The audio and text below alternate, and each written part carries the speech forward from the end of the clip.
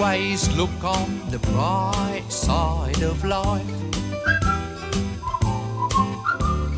Always look on the light side of life.